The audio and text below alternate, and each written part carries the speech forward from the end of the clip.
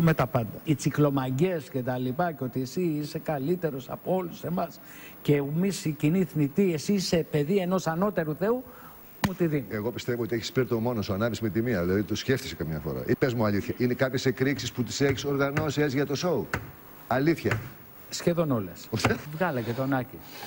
Τελείω. Έχει φύγει μόνος του. Α, τον αγαπούσε τον Άκη κάποτε. Πριν καταλάβεις τι. Α, Εγώ πάω στη ναι. φυλακή και τον βλέπω. Σοβαρά. Πώς είναι, Εντάξει. Χάλια ή εντάξει. Ε, θα βγει σύντομα. Ναι. Ε, ναι, τι, Αυτό, είναι- πόσο έχει βγει; αυτό, αυτό, αυτό που λες τώρα είναι είδηση. Έχει φάει. Ίσως, ίσως, θα, ίσως θα έπρεπε να είχε βγει λόγω της ηλικίας, λόγω το, της ποινής που έχει εκτίσει, της ποινής που υπάρχει. Πλάκα μου. Πριν Δεν από- έχει φάει πόσα χρόνια, δεν ξέρω, ρε παιδάκι μου. Είναι...